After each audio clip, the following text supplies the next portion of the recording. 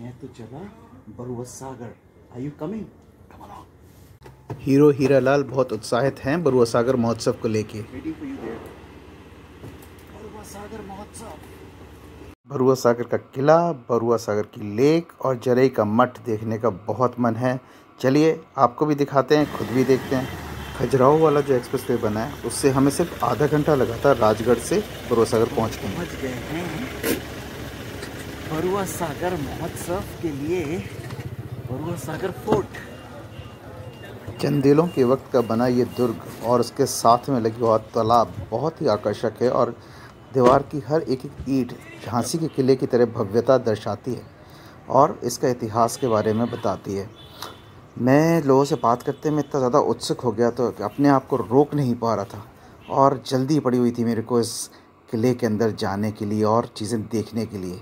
तो आइए कोशिश करते हैं कितना जल्दी कवर कर सकें। बड़ा अच्छा मंदिर गेट पे है, जो दिखाई देता है गणेश जी का। साथ में एक और मंदिर है, सजा सजा सवरा हुआ था फूलों से और झांसी स्मार्ट सिटी लिमिटेड के पोस्टर्स बैनर्स जो कि बताए थे बरुआ सागर फोर्ट एक ज्वेल ऑफ़ झांसी का फोर्ट में से एक है। फूलों से और गेट से बड़ी अच्छी तरह से भव्यता बताई जा रही थी इस पूरे किले की। और किला बिल्कुल प्राचीन रूप में है अभी भी। इसी तरह से जैसे हमारा झांसी का किला है, छोटा है लेकिन अंदर बहुत अच्छी ग्रीनरी है। मौसम ज़रूर थोड़ा सा धूप ज़्यादा थी, उमस ज़्यादा थी तो पसीना हो रहा था। लेकिन ये पसीना और ये धूप भी हमारे उत्साह को कम नहीं कर पा रहा था। देखिए कितना बढ़िया शानदार लग रहा है, काफ़ी अंदर भीड़ भाड़ थी, बड़े अच्छे अच्छे वहाँ के उत्पाद जो होते वो दिखाए जा रहे थे। हमने भी एक बेडशीट वहाँ से लिया। ये बरुआ सागर का सेल्फ़ी पॉइंट बनाया गया था, झांसी स्मार्ट सिटी द्वारा। हम तालाब में पानी तो था, लेकिन इतना नहीं कि वाटरफॉल दिखाई दे, इसलिए बरुआ सागर डैम का अभी पूरा पुरजोर जो आकर्षण होता है सामने नहीं है, लेकिन तालाब में पानी काफ़ी फिर भी चढ़ रहा है धीमे धीमे और ग्रीनरी बहुत गजब की थी। देखा आपने क्यों बरुआ सागर फोर्ट को ज्वेल फोर्ट दी झांसी बोला जाता है? माउंटेन्स ग्रीनरी और ऊपर की ऊंचाइयों पे ये कमाल की जगह है। आना तो बनता है।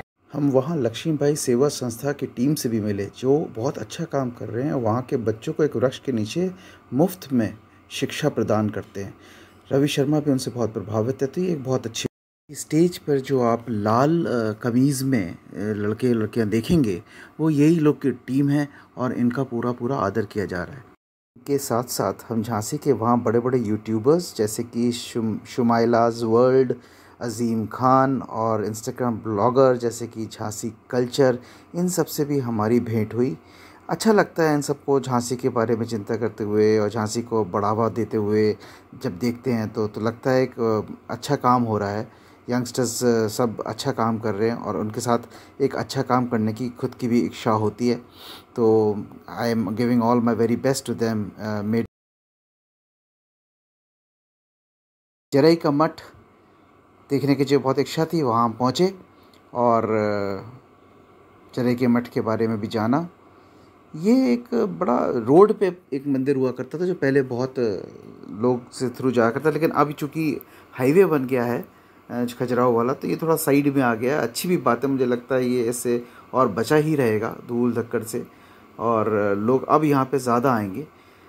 बहुत ही अच्छी कलाकारी और बहुत ही बढ़िया काम आपको इस मंदिर के चारों तरफ़ दीवारों पे देखने को मिलेगा।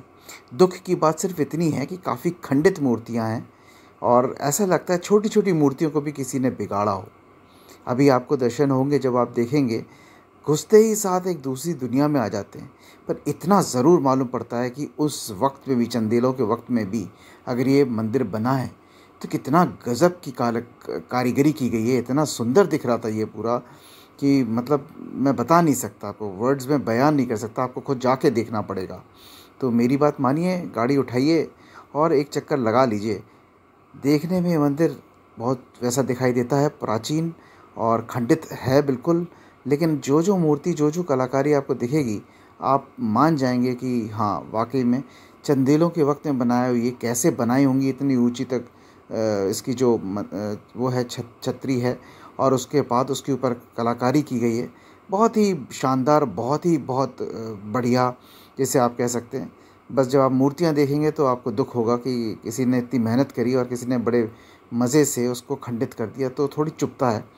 और वैसे इस इस इस मंदिर की यही खासियत है जो लेकिन फिर भी मैं कहूँगा जितना भी अभी तक जिस शेष मात्रा में बचा है उसको आर्कियोलॉजिकल डिपार्टमेंट को बहुत अच्छे से इसको संभालना चाहिए।